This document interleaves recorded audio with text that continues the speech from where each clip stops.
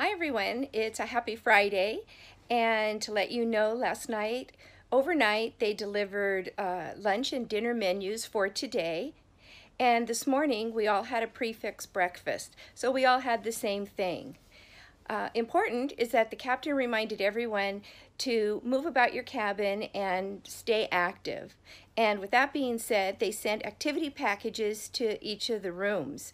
They contained a package of cards, some tally type games, and a journal. So if people wanted to write, that would help keep them active.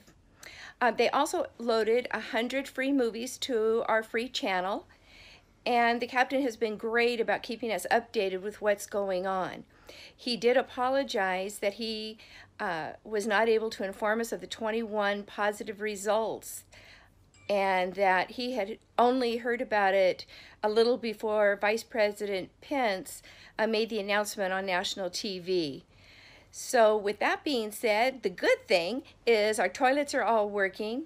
We still have hot water for our showers and we have linens, towels as needed.